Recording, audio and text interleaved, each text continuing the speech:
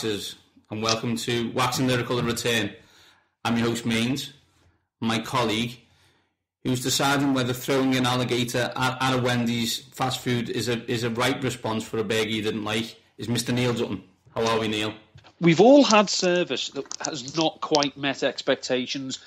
I just wonder that I, I think I'm too lazy to go through the trouble of having to, you know, buy an alligator, import it, go through the quarantine proceedings just to throw it in McDonald's. I think you, you just accept you've had a bad one and go back and, and try it again. I think I think we're we're, um, we're talking about a story that we read yesterday in the Washington Post that where a, a Florida man has all great stories start um, threw an alligator at a Wendy's. It's it's now been seen that it was a he did it as a prank as his friend worked there. There's a multitude of stories about how you get a gator in your car. Um, how do you throw a gator without it, you know, biting your head off? What happens when you throw it at the Wendy's? Have you got your video on? Are you doing this via Periscope or Snapchat? These are the things that I don't know. But all we need to know, people, is there's a multitude of garbage that you find on the internet and on Twitter. But if you ever see a line that starts a Florida man slash a Florida woman, make sure you click on that link because it's going to be comedy gold. Yeah, seriously, if if you know evil Bond style villains want to subvert the will of the people, start your story clickbait with "You won't believe what this Florida man did."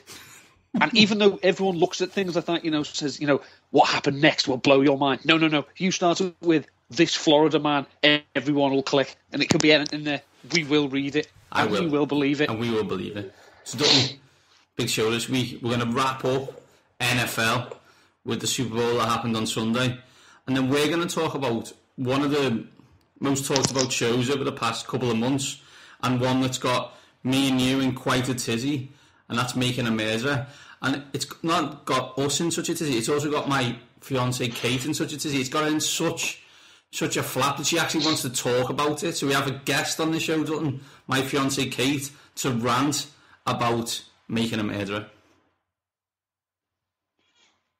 Sounds apt. Sounds apt. So we are making making murderers and Super Bowl champs this week, people. Firstly, let's get on to the Super Bowl, Dutton. I think we should.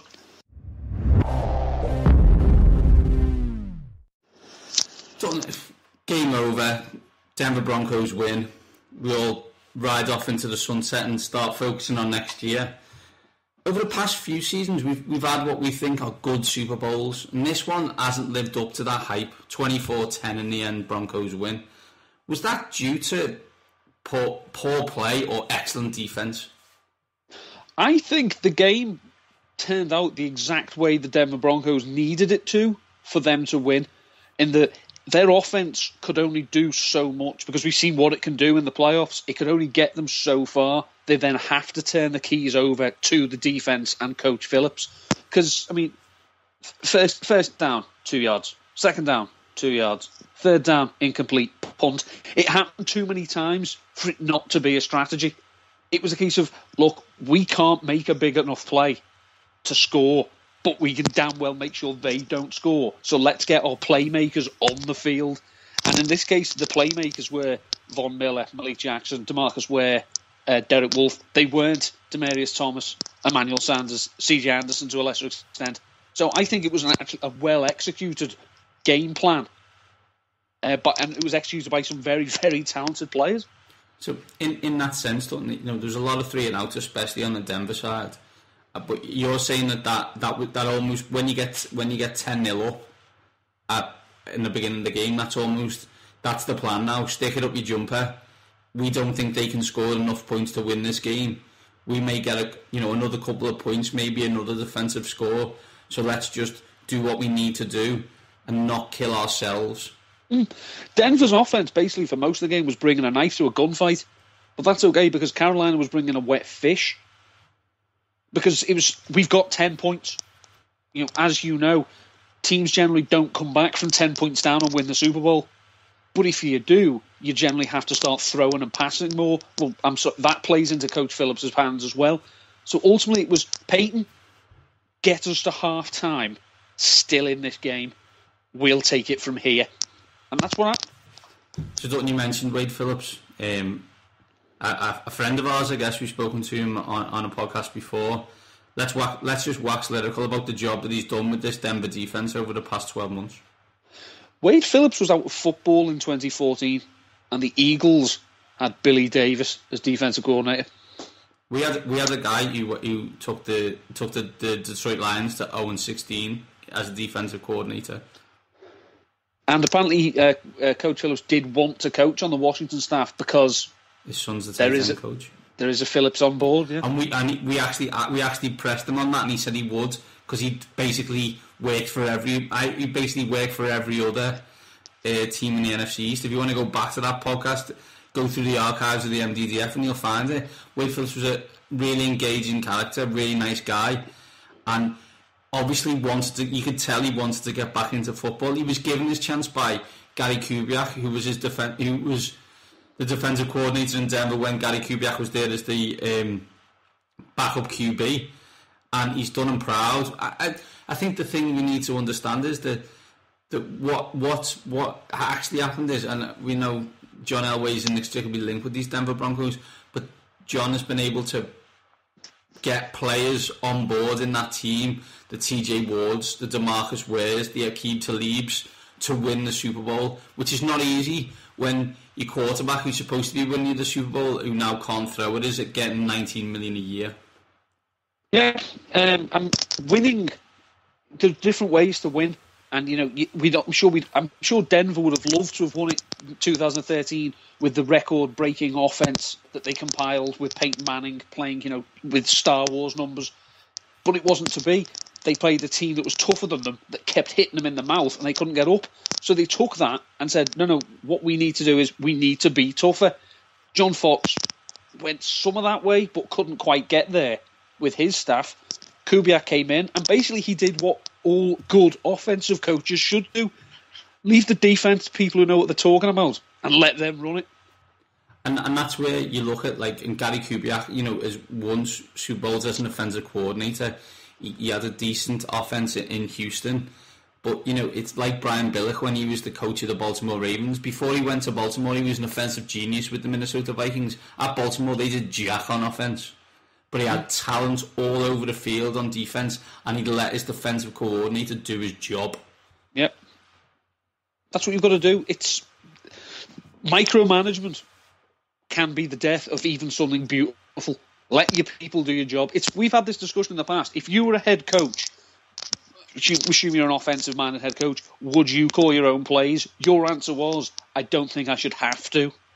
No, that's not the job. The, the, your job is to manage. Your job is to manage the game as the head coach, and you should have someone as your offensive coordinator who thinks like you or call plays like you. That's the point of the. That's the point of the situation. That's why sometimes you look and you think they've just called this offensive coordinator in from nowhere with no link to the, your team whatsoever. This is not going to work. Mm. And it's about surrounding yourself with, you know, you've got to have trust the head coach and a coordinator. We've seen like one of the greatest defenses of all time, the '85 Chicago Bears. Do you think Mike Ditka and, uh, and Buddy Ryan are, go- are good mates now? No. Do you think they were good mates when you were on the coaching staff? Just watch any kind of documentary about them whatsoever. They hated each other and the, and the two sides of the ball hated each other as well. But I mean, I've read three different books. I've read Collision Low, Low Crossers, which is about the 2011 New York Jets, um, Bringing the Heat, about the 93 Philadelphia Eagles, and Next Man Up, about the 2006 Baltimore Ravens. Was it 2006? Sorry, 2004 Baltimore Ravens. These three teams all had one thing in common: great, great defenses, piss poor offenses, and that splits teams. So if you can have, say, you basically can say to the likes of Peyton Manning, Demaryius Thomas, who you know he had a good season, but not not not his great one. You can say to them, if we're going to win the Super Bowl, it's not about you, and you can get them on board. You've done a great job. So I suppose we need to move on to, to the the man who, when we look back in a decade, this Super Bowl will all be about, whether we like it or not, and that's Peyton Manning. Peyton Manning for for eternity has been known as someone who chokes in the playoffs, not won the big games. Is that can will the legacy be changed slightly when you look at it now? He's now he's now got a winning record in the playoffs. He's got he's two and two in Super Bowls. He's three and one against. He's three and two against Brady. Three and one against Brady in AFC title games. He's got 200 co- career wins. People still thought of him as one of the top five quarterbacks of all time. But do those numbers now shifted when he might be a top three? Probably because um, recency bias and the rings go a long way. I mean, a lot of people will still make the claim that if Eli Manning retired tomorrow, he'd be a Hall of Famer because he's got two Super Bowl rings. Eli Manning, you know, of course, probably might look very happy to go into the Hall of Fame, as happy as he looked uh, the winning touchdown. But ultimately, it, numbers go so far. Only people who watch it now, and we're too close. I've always said, you know, recently past, we're too close to assess this. In 10, 15, 20 years, when we're all old and grey, and people ask us, what was Peyton Manning like? Our memories may be slightly clouded. Yes, we'll remember the great numbers and all the touchdowns and the wins, and he won two Super Bowls. We won't remember that he was essentially a caretaker in one of them, and he beat a Rex Grossman led team in the other. Here's, here's some stats for you, Dutton. Um, 12 of 22 for 123 yards, no touchdowns, and one interception. That was John Elway in 1997 when he won his first Super Bowl. You've seen America's game, Neil. And I know he wins MVP in the second one, but in the first one, it's John's Super Bowl, and he leads them to the Super Bowl victory. I'm looking at the stat there, and he didn't. As you said, it's based purely on how we think about it in that point.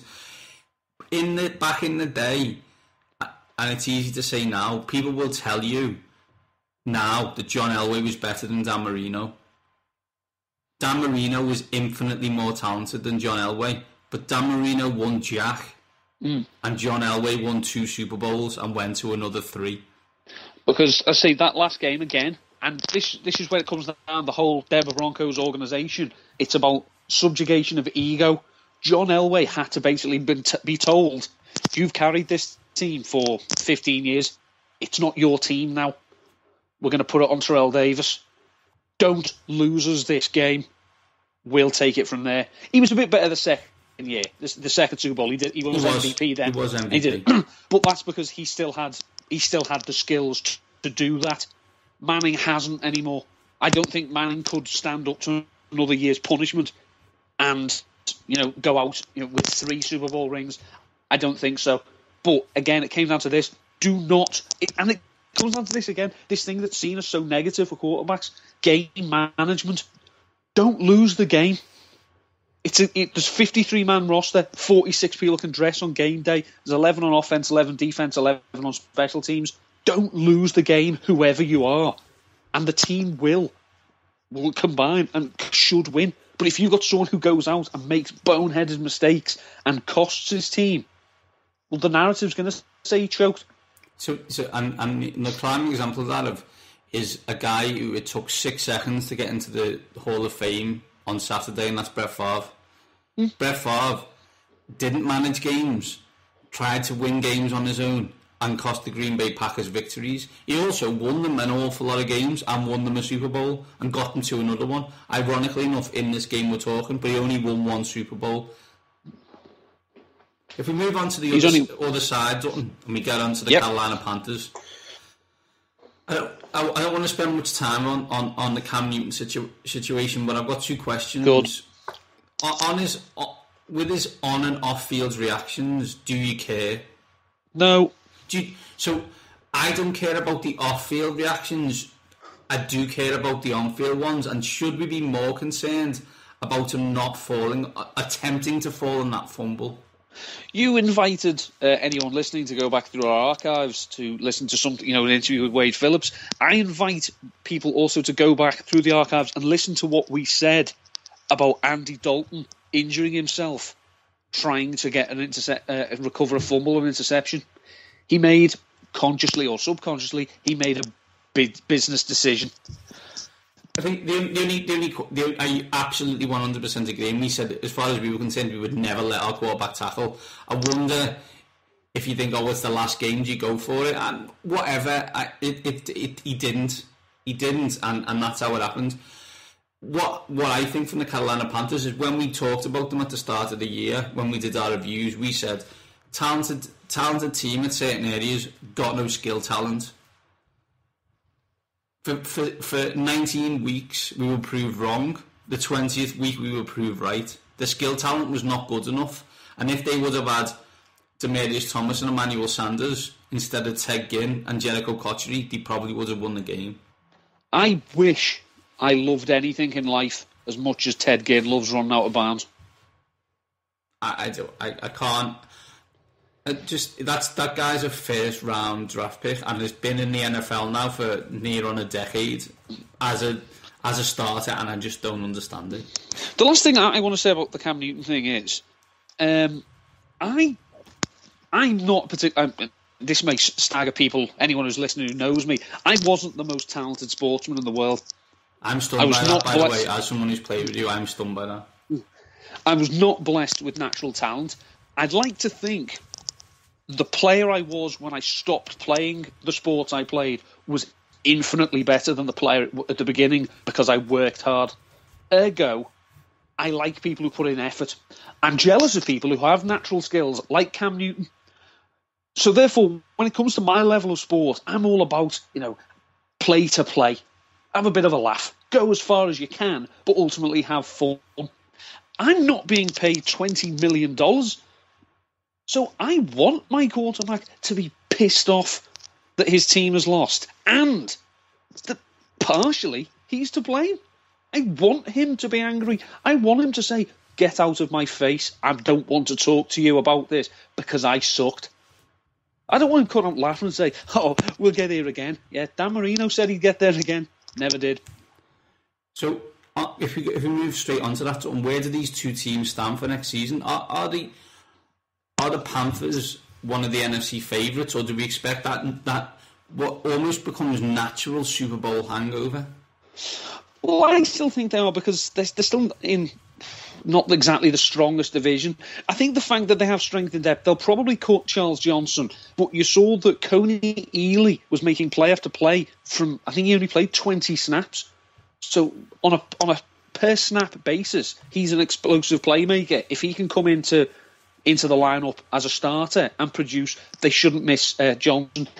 Jared Allen, I think it's probably time to say goodbye. I still think they're a strong team. They're going to get Kelvin Benjamin back, and they've got a year's experience of being the best team. So they know what it's like to get to be shot at. Well, what do you do? I mean, it's the, oh, well, everyone will know about them. Yeah, but it's not a fancy offense you know what they're going to do. They've got five, like, they've got like four running plays and three pass plays, but they execute them well most often than not. I still think they're okay. They've still got a bloody good defense and a, and a very good coaching staff.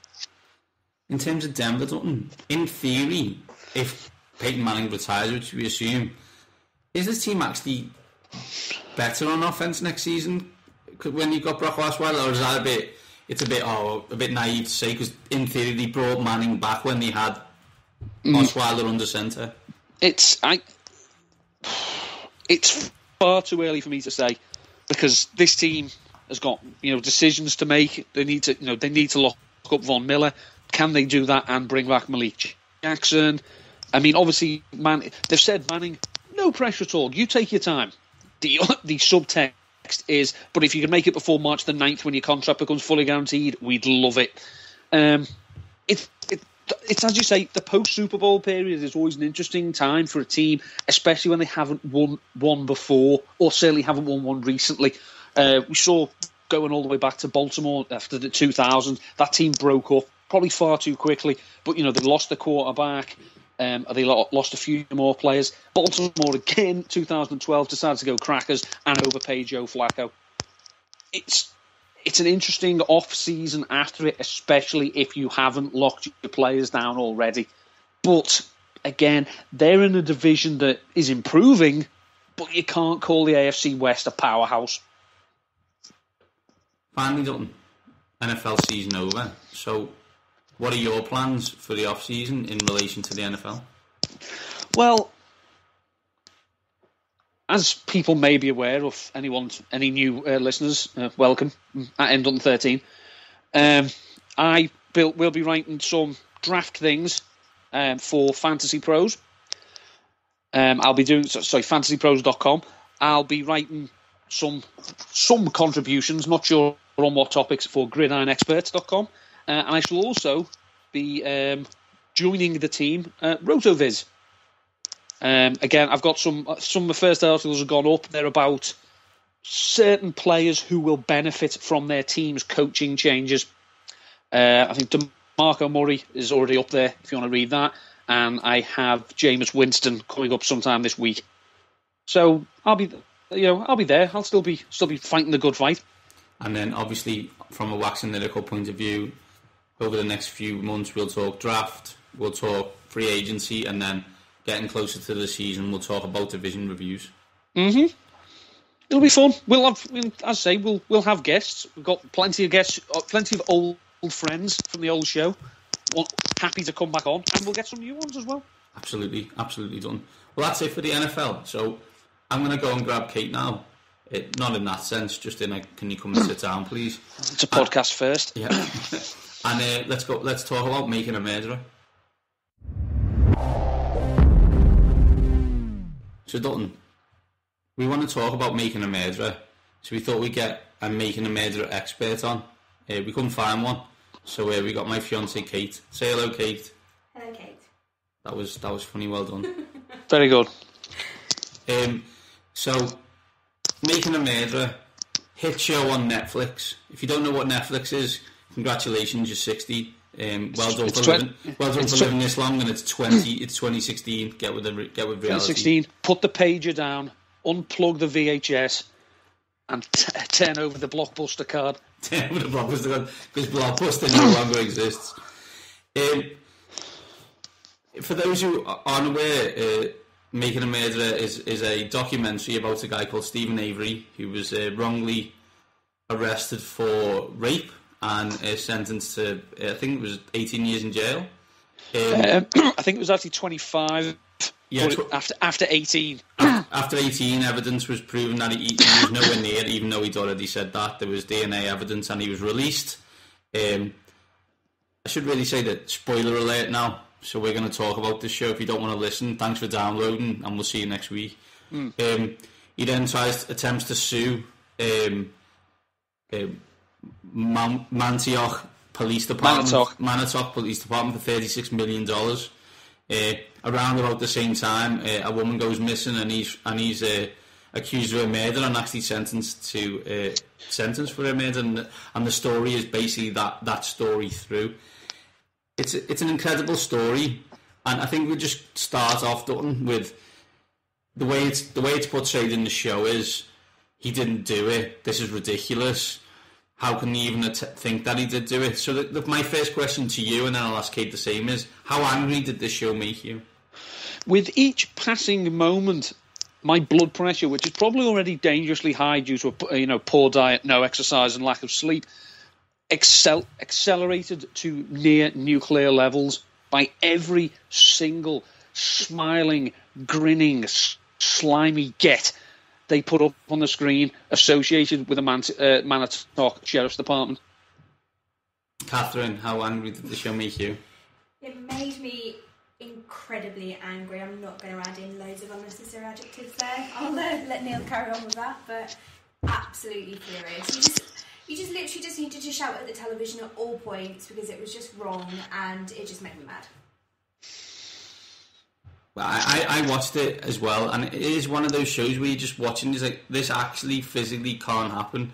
It's it's one of them like t- the truth is stranger than fiction, and this was just strange to its to its nth degree. Standard que- standard question for me though, like this was set in Green Bay, Wisconsin. We're going to play a game now. Unfortunately, Kate, and you're going to lose. Do you know where Green Bay, Wisconsin? Do you know where Wisconsin is? No. So Wisconsin is in the north of the United States of America, near Canada. Correct, Neil? Correct. It's very cold. Very cold.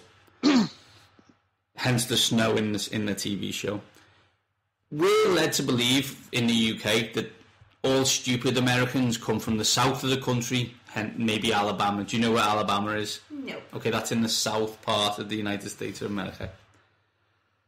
How, how I sometimes like does this just show to all of us that like ninety percent of all Americans are thick? Um, in the hope that we may one day break the American audience, uh, I'm going to say no. Kate, I think that's a little harsh to say that all Americans are thick. I didn't say all, I said 90%. Well, ninety percent of them. I think that there is, you know, a, a rather large population that are a few biscuits short of a tin. I- I'd just like to say, literally 24 hours earlier than when we're recording this podcast, a vast majority of a state thought that the best person to lead the Republican Party is Donald Trump. So you guys can walk around the fact that Americans are thick. I'm I'm comfortable in my position. I have already um, extracted an apology from a, an, um, an US-based NFL writer who says we're going to have we're going to have Trump as president, and you guys get to watch the uh, Rams uh, uh, next year. We're sorry. it's a very good point. I mean, one of the other major characters in the show is Steven Avery's um, nephew, Nephew. Bradley, uh, who's also sorry, I was saying Bradley. Bradley, and he um, and Are you he's al- accusing me of? Yeah, well, I'm, I'm, I'm not not what we're accusing Bradley of. Who seems to be taken away and led to tell a story that involves him then killing, a- assisting in killing this woman Teresa. Um, he has no clue. He, I don't think he can count to ten. Is is the Bradley character the saddest part of the story in terms of a moron position? Well, yeah, because I mean, let's let's not paint any pictures here. Steven Avery is not all there. He doesn't seem like he's playing with a full deck. There's obviously been some. He seems to be the family that everyone's a little bit wary of. Now, I'm not saying categorically that he hasn't done bad things in his life, and because you know I'm not a detective, I'm not empowered by the law to say that. But it's the process of the way things are being done. It's, no, no, no, no, no, no. The ends are not justified by the means of how you're going about this. Just because you don't like someone, you can't get them off the street that way. Bradley, bless him, he's trying to play with the scraps of the deck that Stevens got left. He's basically, you know, you get a deck of cards. The first thing you should do is go in and take the jokers out. Yeah, that's what Bradley's been given.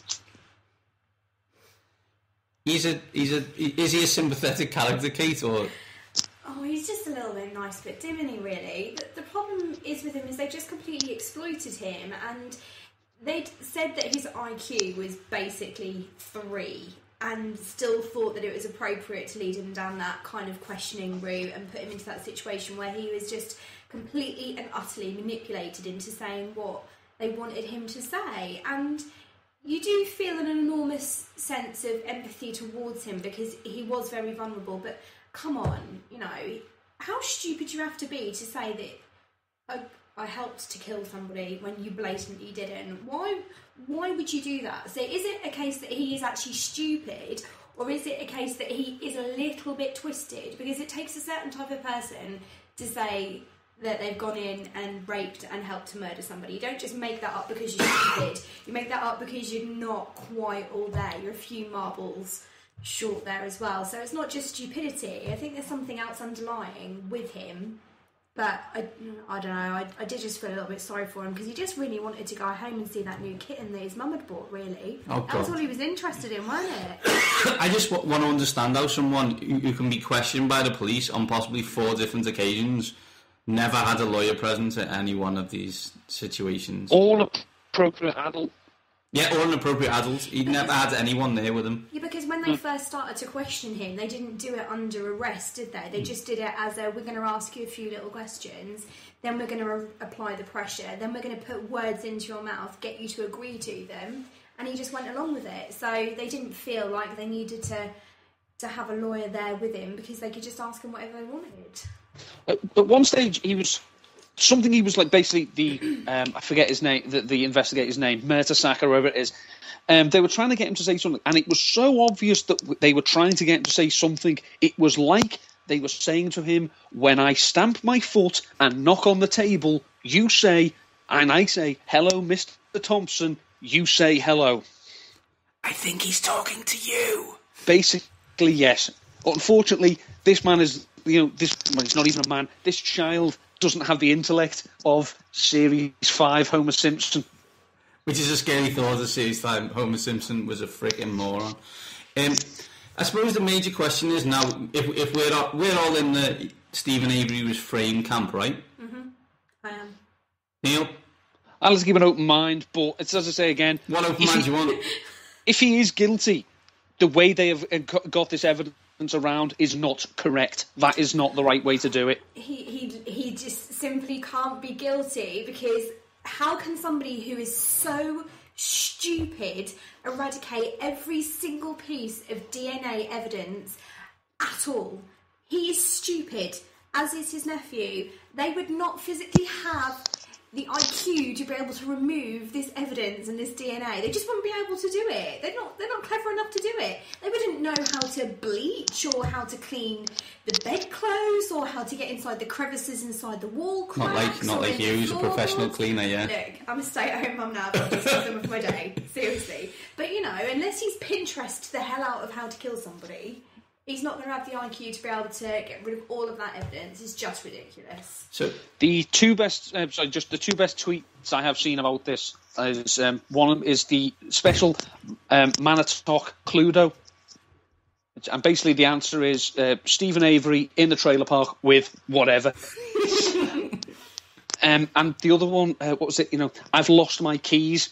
Can someone get the Manitowoc, uh, Man- Manitowoc uh, PD around here? Maybe they can find them for me. I've se- I- I've seen a picture which I will tweet out later at the at, at waxing underscore lyrical Twitter account, which is uh, I lost.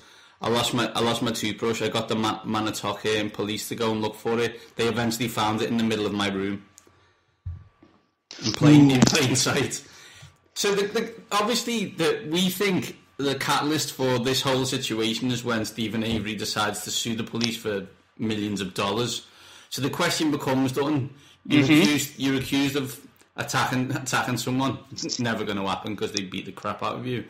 Um, you go Yep. to jail. You, you're exonerated, obviously, because there's no, absolutely no way you can do it. So you sue St Helens Police Force. Do you then stay in St Helens Police Force's jurisdiction, or do you move, you know, to Botswana? Well, bear in mind, America, you may have noticed this, is an extraordinarily lit- litigation based culture. I live here. This is my hometown. All of my family, you know, are, are there. You know, the, the family tree that clearly doesn't fork very much. Um, I want to live here still because he still wanted to work in the scrapyard with his mum and dad. I've been wronged. I'm going to sue you for it. Now, obviously, they initially offered him, I think it was like four hundred thousand dollars or something, but someone else decided, no, you can have thirty six million dollars if you do it properly. Yeah, um, I, it's one of the, I, I think four hundred thousand dollars. Steven Avery probably could have bought all the crappy old cars and worked on them till his end of days. But if that's your home, and you've been told you sue them, you can get money for it. Well, you're going to because that's the culture you live in. In this country, you probably think, yeah, I really need a new name. Would you sue them? Would you, if you sued them, if you sued Great Yarmouth Police Department, Kate, would you then move to, you know, Ipswich? The problem is, I think, is it depends where you live as well. Because if you sue them around here, what they're they going to do? Come after you in police tractors. True, good point. What's the worst point. happen? I could probably If run we- away from that. If we lived up like north where you lot come from, it might be a completely different story. Now, I'm not making a derogatory comment. I think you are. I think you are. Just stating a few facts. However, round here, I'm not really quite sure what they're going to do about it. If I'm honest, they probably would get a bit pissed off. Hmm, true. But I don't think they would go to a degree of trying to frame you or anything like that. I think they would probably just give you speeding fines. I, I can get a few speeding fines You off them can do without without without without any help of, Yeah. of suing them. So Teresa died.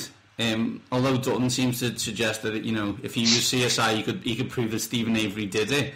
Um, who are we? The, the, the, the, the, who who do you think killed Teresa if it wasn't Steven Avery? Dutton. I honestly don't know, um, because I mean, I'm again, I'm not saying he did. I'm not saying he did. I'm not ruling it out. I'm not ruling it in. But the cause and reason why why anyone would want this girl dead, I, I, it wasn't like she was a massive drug dealer. She wasn't a criminal, you know, hard case. She looked like she weighed three stones, soaking wet. Um, so it's it's one of those. It's I mean, obviously, people get murdered for the variety of reasons. I'm assuming again, not an expert. And no, I don't want to be murdered to test this theory. But why anyone would want to, it's a bit odd. So I, I'm not prepared to, to nail my colours to any particular mast. So, in, in the complete opposite of nailing, not nailing your colours to a, to a mast, um, Katie Malmquist, can I have your theory, which you've deliberated on over the past three months after watching the show? Yeah, it's her brother. It's completely and utterly her brother. He, he just, firstly, he looks guilty, and I'll explain that in a second. But if you remember the videos that she made, these weird videos about how if she had, if she was going to die and she wasn't going to be around any longer, how she wanted her friends and family to know how much she loved life and all stuff like that. But all she talked about was her two sisters. She never made any reference to her brother whatsoever. He was completely. It's like he didn't even exist, and I didn't even know he even existed until you saw him pop up in the trials and all this kind of malarkey. I think he had some type of sibling jealousy going on there, to be honest. And when you watched him during the trials, her mum had her head down, she was crying, other other relatives were, they were consoling each other, and all he was doing was watching what the other people were saying and as if to say, you know, I need to make sure they say this or they say that or what am I going to do? He was just too interested in what was going on. He just looked like a man that was guilty and he had a really bad haircut. So. The, the, the, the, the haircuts of most people that I've seen, they've not come out well. Most of the the law enforcement officers, Jesus Christ, get a Toni and Guy out there. Yeah, but there is a guy with a wig as well in there. He had a questionable syrup. there was a question. There was at least one questionable syrup. I, I, the brother is a logical position. You know, I'm thinking. I'm not 100 percent sure why I don't. If I'm the police and I'm getting sued for 36 million, I don't just pop it off myself. I'm not. I'm not sure the brother was clever enough to like randomly leave the car in the middle of in the middle of the um, in the middle of the uh, uh, scrapyard. That and that's just me. Do you know what I mean? Mm. He didn't leave it in the middle though, did he? Let's think about it. He left it strate- strategically yeah, on the edge, and then God sent the people to find the car. That was that was one of my favourite moments. There's always got to be a. So why did you start walking in one direction and com- quickly turn to a completely other direction, then find the car within 30 seconds on a like 15 acre plot? I just had a feeling God told me, "Go away, go away, yep. American, go away, American woman. You are no." No. God, God, God, of course, being the you know the nickname of the chief of the uh, sheriff's department. exactly, the woman, the guy who said, "Look over here." He's like pointing with a big acme arrow, like flashing lights. Look at this car. Look at this car. So Dutton, um, we also became obsessed with a podcast um, called uh, Serial. Kate, did you ever listen to this? You forced me to listen to about half an hour of it. It was dull. Kate, Kate doesn't listen to podcasts. This is awkward. Um, do you see any parallels between Making a Murderer, the TV show, and Serial season one? Well, yeah, I think obviously Making a Murderer probably stems from the genesis of Serial in the sense that here's a, a crime, probably quite high profile in its way, in a, in a local sense, not internationally. The inter- information superhighway in 1999, for example, wasn't what it is today. You know, we didn't have Twitter, we had MySpace. you still going? Um, um, so basically, it was you know it was basically was looked upon and uh, people with certain degree of influence, not influence, certain degree of um, scope could take up the cause of it, and that's similar to what's happened with making a murderer. It's it's let's just say it's both are cases that first glance look iffy, and second glance and first smell stink to high heaven. I just look and think if you if you are someone now who is a, is unsure whether you committed that crime or or a family member of someone who committed the crime, you are calling every single document documentarian or podcaster to try and get your your story next. Because we all assume and as we speak in terms of the serial situation there's a there's a, a, a trial going on related to evidence that was ta- that wasn't put in, into light so they're blaming the, his his defense lawyer allegedly Stephen now dead now dead. Steven Avery's now got a new Ultimo criminal defense lawyer from Chicago who's looking into his case. Do do you think if we did this in 12 months' time that there will be a retrial for Steven Avery, Kate? I would hope there would be, to be honest. I, I really do, because I just I struggle to understand how he's locked up in jail because there just is a complete and utter lack of evidence, and I just don't know how they're following any type of process to put people behind bars fairly when they've convicted this bloke with no physical evidence that he actually committed the crime. So I, I can't get my head around why he's even locked up anyway, to be honest. I should hope so. It, it, all I'd say is, if you haven't watched this show, um, all three of us would strongly recommend a, a, a watch. What we would say is, be prepared to get very angry and very confused about how a man gets uh, put down for murder due to this Yeah. situation. Don't watch it if you're in a bad mood to begin with. That is a very good point. That's a very good point. Well, thanks for your time, Kate. Thank you, for having me. You can talk. I was going to say, well done. You're allowed to talk. Um, we talked Super Bowl. We've talked making a murderer. Um, weekly schedule. We're up and running. This has been Waxing Lyrical. Get used to it.